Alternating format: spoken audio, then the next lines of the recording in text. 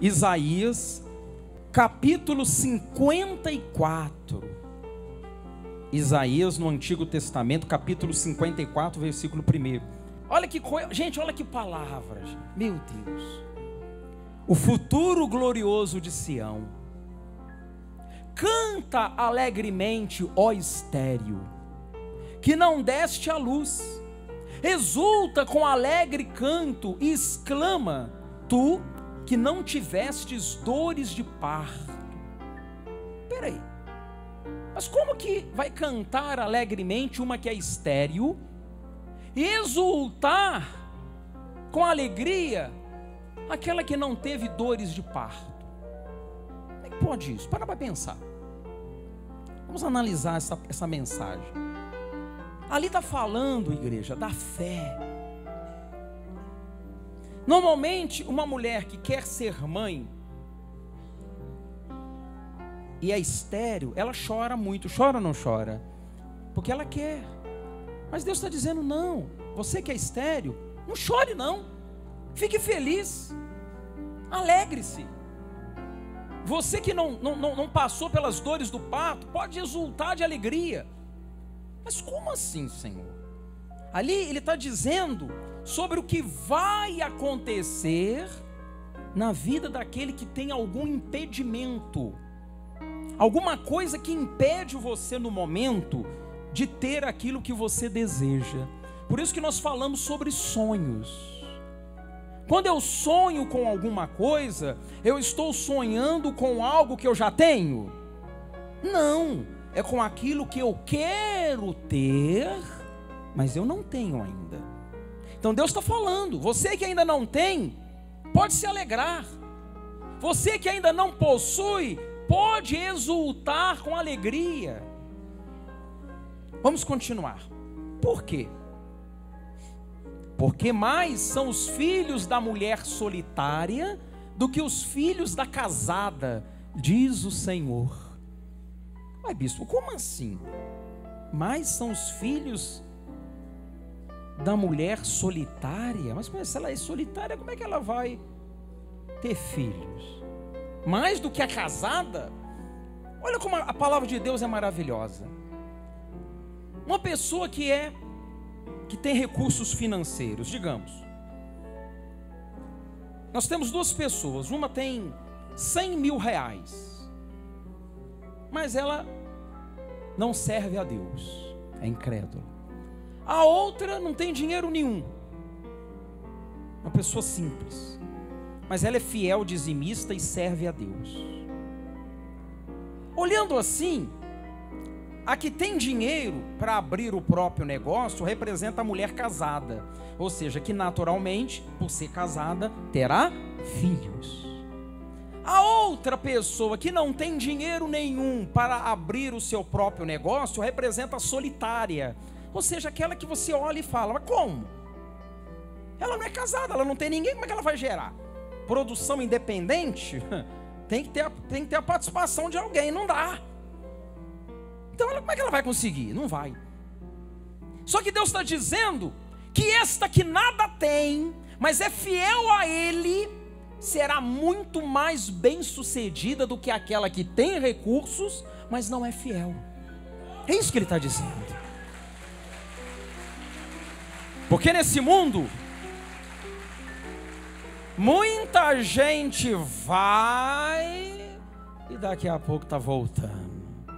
Sobe e daqui a pouco está descendo, gente. É natural que alguém que tenha 100 mil reais consiga abrir o seu, o seu negócio? Consegue? Um 100 mil dá? Dá para abrir? Dá, dependendo do negócio, é claro que dá.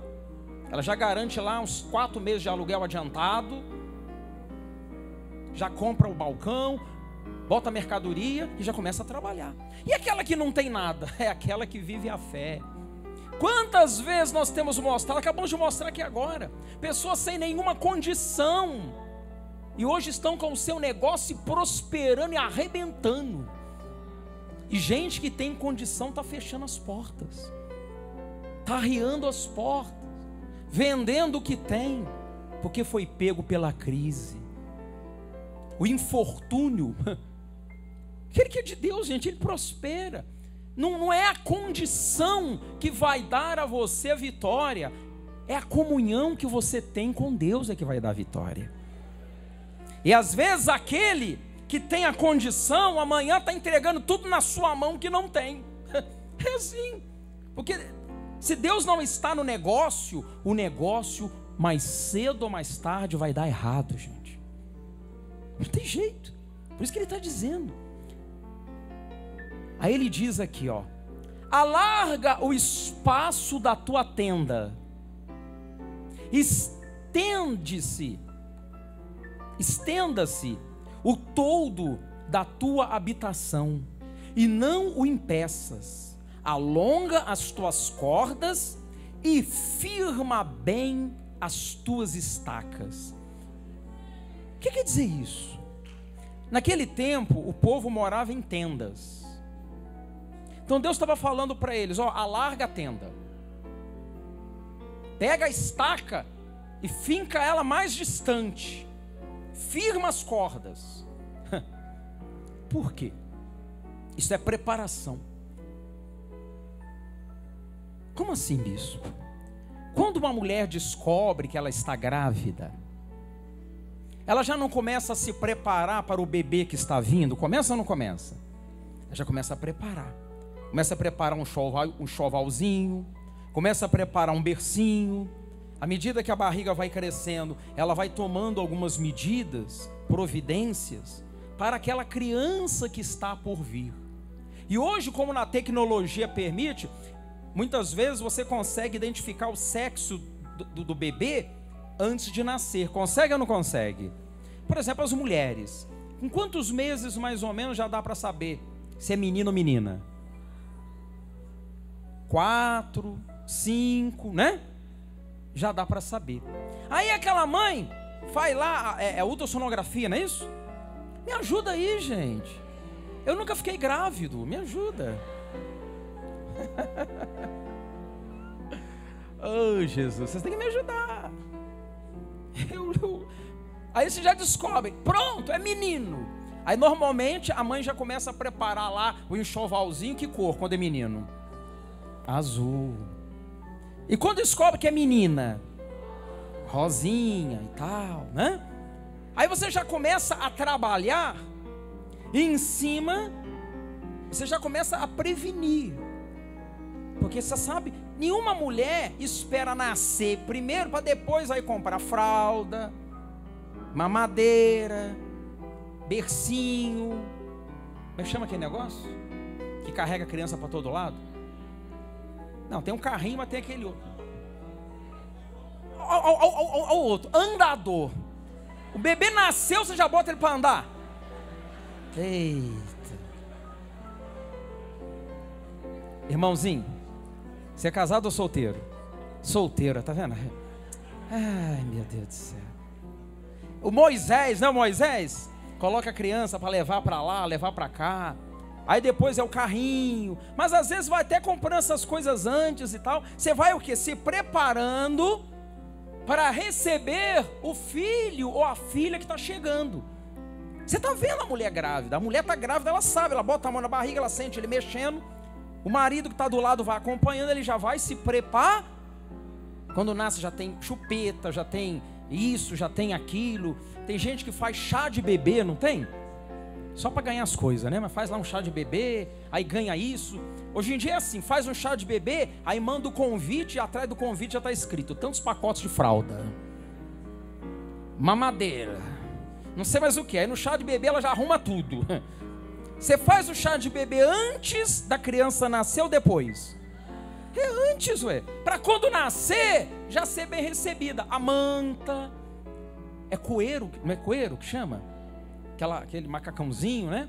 Sapatinho, tal, luvinha, né? Essas coisas assim. Coloca lá uma luvinha do Vasco da Gama, tal, que a criança já nasce. O Vasco não vai cair não, gente. Vocês estão pensando o quê, ó? Tá, estamos sobrevivendo ainda, ó. Quem... tem que viver a fé, irmão. Fé tem que viver em tudo, tem que acreditar. É, é pela fé mesmo. Então, você já prepara tudo, né? estavam falando para mim, outro dia eu fui numa lojinha de, de, de, de sapatinho de criança. Aí eu perguntei, qual sapatinho que mais vende? Do Flamengo. Eu falei, ah, meu Deus do céu. Coitado dessas crianças já. Flamengo. Então você vai preparando tudo para receber a criança. O que, que Deus está falando ali? Volta na palavra, volta na palavra. Alarga o espaço da tua tenda, porque está pequeno. Deus está mandando o que? Alargar. Estende-se o todo da tua habitação e não o impeça. Você sabe que tem gente que impede a própria bênção dela, né? Ela trabalha contra a própria bênção de Deus na vida dela. Fica comentários negativos. É, a coisa tá feia. É, a coisa tá difícil. Eu vi no jornal que agora é greve de não sei mais o que. Agora vem greve disso, vem greve daquilo. A Dilma não sei o que. A presidenta falou, o Congresso disse, o Beltrano falou. Mas e o que, que Deus está falando? Que me perdoem as nossas autoridades mas a palavra de Deus está acima da palavra delas. Então você não tem que estar preocupado com o que está acontecendo por aí, não. Faz o que Deus manda. Alarga a tenda, se prepara. Se prepara para tomar posse. Isso é fé, gente. Deus está falando. Alarga a tenda, aumenta o espaço. Firma bem as estacas porque transbordarás para a direita e para a esquerda. Olha o que ele está falando. Você vai ter tanto, você vai transbordar. O que é trans? Quando é que transborda? É quando enche e não cabe mais. Então ele já está falando: você vai ser tão abençoado, aumenta o espaço na casa, porque vem bênção aí, meu irmão. É isso que ele está dizendo. Vem bênção aí para caber. Mas aí, como Deus é poderoso, vai transbordar, não vai caber. É a palavra dele porque transbordarás para a direita e para a esquerda. A tua posteridade possuirá as nações e fará que se povoem as cidades assoladas. Olha que promessa, gente. Deus está falando de coisas que vão acontecer. Coisas que vão acontecer. Coisas que Deus está entregando nas suas mãos. Fé é acreditar na promessa daquele que fez a promessa. Não é um homem que está dizendo, eu estou lendo na Bíblia. Isaías capítulo 54. Quem fez essas promessas foi o próprio Deus. E quando você crê e absorve para você isso, toma posse, essas coisas se cumprem. E é o que nós temos visto aqui. Por isso que antes de pregar a palavra, a gente mostra os milagres. Para você ver que realmente, de fato, Deus faz milagres. Para você ver que de fato o que pregamos aqui é verdade. Ninguém está te enganando, iludindo você, não. É pura verdade. Aí ele diz no versículo 4: Não temas. O que quer dizer não temas? Não tenha medo. Tem gente com muito medo. Medo de ficar pobre, medo de ficar desempregado, medo de não dar conta de pagar as dívidas, medo de perder o carro, medo de perder a casa, medo de perder o marido ou perder a esposa. Não adianta você ficar vigiando o seu marido. Você estava onde? De 10 em 10 minutos ligando para ele, mandando torpedo, mensagem. Hoje não tem mais torpedo, não, né? WhatsApp. Você está onde? Filma aí para me ver que você está aí mesmo. Aí o marido tem que filmar. Estou aqui, ó, do lado do, do fulano, estou trabalhando. Estou vendo. Daqui a 10 minutos, ela de novo. Aquela, tem aquele, aquele negócio, né? O quê? Nem não consigo mais assoviar. Meu Deus do céu. aquele, aquele apito, é alguém chamando ela. É, uma, é a mulher querendo saber onde o marido tá. Aí o marido chega em casa, ela vai dar um abraço. Vem cá, pastor. Ô, oh, meu neguinho, chegou! Dá um abraço aqui. Tudo bem? Vem cá, outro. Para ver se tem cheiro de perfume da outra. Obrigado. Aí fica caçando daqui e dali. Neguinho, vai tomar banho, coisa linda. Aí quando ele entra para dentro do banheiro, vai correndo na carteira dele para abrir para ver se tem algum bilhete. Pega o celular dele e fica olhando para ver que mensagem que ele recebeu. Para quem que ele ligou? Caçando, caçando. Por quê? Medo. Se ele quiser te trair, ele vai te trair. Se ele quiser te largar, ele vai te largar. Gente, o que, que garante uma união duradoura? É o amor. Só que o amor do homem apenas, humano, muitas vezes não é o suficiente. Ele tem que ser regado pela fonte do amor maior, que é o amor de Deus. Havendo o amor de Deus no casal, ah, meu irmão, não aguenta ficar muito tempo longe do outro, não. A saudade aperta. Ah, saudade aperta. Você fica doido para ir embora para casa para chegar lá e encontrar a pessoa amada. Porque esse amor, ele é renovado pelo amor maior de Deus. É isso que segura um casamento. Se não tiver isso, você pode vigiar, você pode uma marcação cerrada. Uma hora, meu amigo, o zagueiro vai te driblar e vai chutar e vai fazer o gol. Não adianta. Se Deus. É bíblico isso. Se Deus não guardar uma cidade, em vão vigia a sentinela. Olha lá. Se o Senhor não guardar a cidade, em vão vigia a sentinela lá. Salmo 127, não é isso? Aí. Não adianta. Você pode cercar de tudo quanto é jeito. Então, entenda, é Deus que prospera, é Deus que abençoa.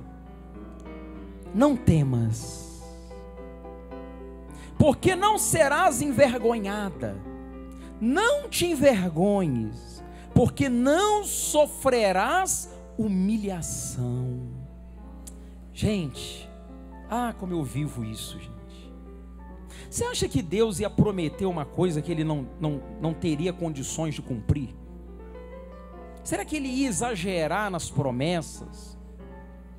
Ele está falando para você: não tenha medo, você não vai ser envergonhado. Não. Você não vai ser humilhado. É Ele que está prometendo e dizendo estas coisas, gente. Não tenha medo. Bispo, mas e as lutas? As lutas elas vão vir, fazem parte da vida. Mas você não vai ser humilhado. É Ele que está falando, é da boca dele que está saindo essa palavra. Pois te esquecerás da vergonha da tua mocidade e não mais te lembrarás do opróbio da tua viuvez. Isso aqui ele está se referindo ao período que você estava longe de Deus, ao período que você sofria, ao período em que você não conhecia Deus. E que por conta disso você sofreu bastante, passou muito aperto. Você não vai se lembrar dessas coisas mais, porque o que Deus ele tem preparado é coisa tão extraordinária que aquele que passou fome, quando se assentar na mesa e ver aquele banquete maravilhoso, não vai nem lembrar que um dia passou fome. É. Vai olhar comida para todo lado, fartura dentro de casa. Aquele que tinha a família desunida, ele vai se assentar para a refeição, tá a família toda ali ao redor da mesa, todo mundo em comunhão, sabe? A alegria vai ser tão grande que você vai esquecer das dores do passado. Bispo, eu hoje estou vivendo essas dores. Então, toma posse, porque você não vai, vai senti-las. Não mais elas farão parte da sua vida. Porque Deus está prometendo aqui, ó. Eu vou ler de novo, gente. Não temas, porque não serás envergonhada. Não te envergonhes, porque não sofrerás humilhação pois te esquecerás da vergonha da tua mocidade, e não mais te lembrarás do opróbio da tua viuvez. Porque o teu Criador é o teu marido. Puxa, o teu Criador é o teu marido. Você sabe que Deus vê a igreja como uma noiva. E Ele é o marido. Nós somos a noiva. E Ele é um marido muito bom. Não deixa faltar nada. É bom. É um marido que cuida da sua esposa, que protege a sua esposa, que dá a vida por ela. Não foi assim que Jesus fez? Deu a vida por nós? Então ele, ele é aquele marido que protege. Essa é uma comparação para você entender a extensão do amor dele. E ele, como marido protetor que é, não vai deixar ninguém chegar perto da mulher dele. É claro que não. Chegar perto da mulher dele, tem que passar por ele primeiro. E alguém passa por cima de Deus? Então esquece. Porque ninguém chega perto de você. É. A miséria não chega, as doenças não chegam, a humilhação não chega, nem a derrota, promessa de Deus, gente. É Ele que está prometendo. Chega de humilhação, chega, acabou. É vitória e vitória. Volto a dizer, não estou dizendo que você não vai ter lutas. Você vai ter lutas. E toda luta tem um vencedor e um perdedor. Tem ou não tem? Só que você não será o perdedor, será sempre o vencedor. Então isso é bom. Você vê, por exemplo, existem hoje campeões, pessoas hoje que são ovacionadas pelo público porque venceram.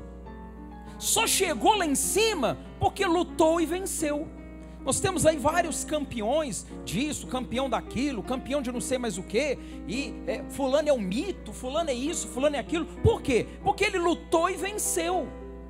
Então, para que eu vença, é necessário que eu venha lutar também. Sem luta não tem vitória. Então a luta faz parte da própria vitória. Como é que eu vou vencer o que eu não, o que eu não lutei? Não existe isso. Eu sou campeão. Campeão de quê? Se você não passou por prova nenhuma. Então, as provas vêm, gente, mas elas vêm para coroar você de êxito e você ser vencedor. É assim que funciona. É promessa dele. É maravilhosa essa palavra. Porque o teu Criador é o teu marido, o Senhor dos exércitos é o seu nome, e o Santo de Israel é o teu redentor. Ele é chamado o Deus de toda a terra. De toda a terra, Ele é Deus. Toda a terra.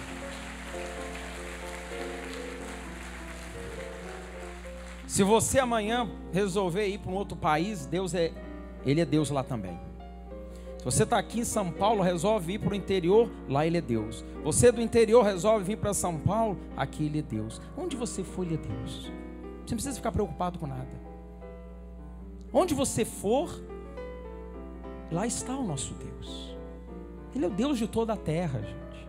Então você que acompanha essa programação agora, norte, nordeste, sul, sudeste, outros países, você que ouve pela rádio, acompanha pela internet, aonde você está, Deus, aí é Deus também, para te socorrer, para te ajudar e te conceder vitórias. Agora, só para a gente encerrar, ali ele está falando a respeito de que ele se coloca como sendo nosso marido. Bem, a esposa só passa a ter a proteção de fato de um homem quando ela se torna o que dele? O que? Esposa. Ah, eu sou namorada. Bom, tudo bem, ele pode até te defender aqui e ali, mas vocês não são uma só carne. Então, o que acontece é que tem gente que está namorando com Deus, mas não está casada com Ele. Tem uns que mais um pouquinho, olha, eu estou noivo de Deus. O noivo é o meio termo do namorado com o casado. Então, está no meio do caminho. O noivo significa o quê? Que ele está pretendendo casar. O namoro nem sempre. Às vezes está namorando a pessoa e às vezes o namoro não dá certo. E amanhã você não, não gosta dela ou dele, termina. Mas quando a pessoa resolve ficar noiva, ela bota uma aliança, não bota? Na mão direita. Já firmando um compromisso. Mas a aliança, quando pula para esse outro de, essa outra mão aqui, a mão esquerda, é porque sacramentou aquela união. Ora, nós temos na igreja pessoas que são abençoadas, outras mais ou menos abençoadas, e aquelas que de vez em quando são abençoadas. O que de vez em quando é abençoado é o que está namorando. É, de vez em quando vem uma benção aqui, uma vitóriazinha ali, cai ali na frente um, abre-se ali uma porta e tal. É aquele que está namorando. Aí Deus vai abençoando, mas ele não tem um compromisso com Deus. Aquele que ficou noivo, ele está ensaiando. Ele está vindo na igreja, está fazendo os propósitos, está participando, aí já passa a ter um pouco mais de direitos. Mas abençoado mesmo, gente, é quando você assume um compromisso com Deus. Aí ele assume o compromisso com você também. É reciprocidade. À medida que eu me dou, ele se dá para mim. Se eu pouco me dou para Deus, ele pouco se dará para mim. Então você vê que a sua vitória não depende de ninguém, só depende de você. Se dê para Deus. Tenha comunhão com Ele, busque mais a Ele. Ah, você vai ver. Experimenta vir mais um pouco na igreja. Não sai da, da reunião antes de terminar. Você sabe que tem gente que chega atrasado e sai antes da reunião terminar. Aí é brincadeira, né? Tudo bem, às vezes, por um motivo ou outro, um engarrafamento ficou preso, às vezes. Mas peraí, chega atrasado e ainda sai antes do culto terminar. Essa pessoa tem compromisso com Deus mesmo para valer? Ela está namorando ainda.